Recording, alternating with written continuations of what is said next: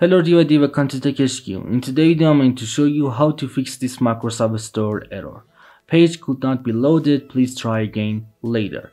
So want to know how we can fix this error, make sure to watch this video and please go ahead and subscribe my YouTube channel.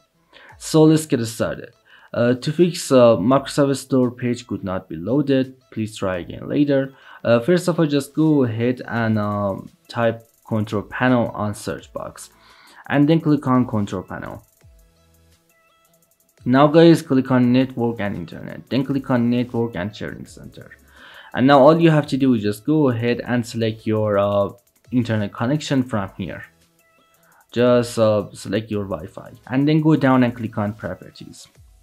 Now guys just go ahead and double click on internet protocol version 4 or IPv4 then go down and uh, check this option. Use the following DNS server and all you have to do is just go ahead and use DNS server to fix a Microsoft Store page could not be loaded.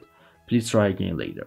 And the first DNS is Google DNS. Just go ahead and enter 8.8.8 and 0.8 for primary DNS and then enter 8.4.4 and 0.8 for secondary DNS. And also guys, you can fix this issue just by go ahead and use Cloudflare DNS. Um, just go ahead and enter 1.1.1 and 0.1 for primary DNS and then enter 1.0.0 and 0.1 for secondary DNS and then go down and click on OK. Click on OK again and then click on close. And it's the first solution I know to fix Microsoft Store page could not be loaded. Please try again later. Uh, but if that didn't work uh, for the next solution, just go ahead and plug in LAN cable or Ethernet cable uh, to your PC and also plug in LAN cable to your router. And all you have to do is just go ahead and set up wired connection. Uh, wired connection, it's really better than wireless connection. For example, you can get more stable internet and sometimes you can fix this issue just by go ahead and use wired connection. Uh, but if you don't have a LAN cable, uh, just go ahead and type settings right over here and then uh, just go ahead and open up Windows settings. Now go down and click on apps.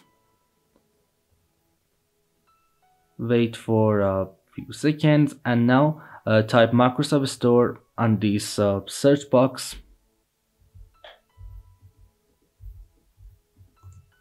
Right, uh, just go ahead and type Microsoft Store. Um, then click on Microsoft Store and now just go ahead and click on advanced options then guys uh, just scroll down and click on reset. And all you have to do is just go ahead and reset Microsoft Store uh, from Windows settings.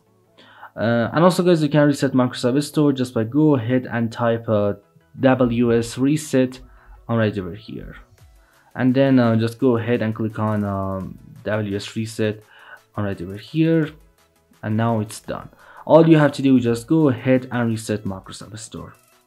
And now guys if you did all of these solutions and all of them didn't work. To fix Microsoft Store page uh, could not be loaded, please try again later.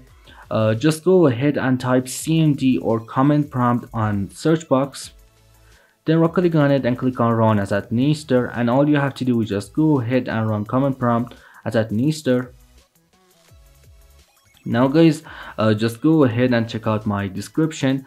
I put these comments on my description so all you have to do is just go ahead and check out my description and first of all just go ahead and copy this comment from my description ipconfig slash flush DNS.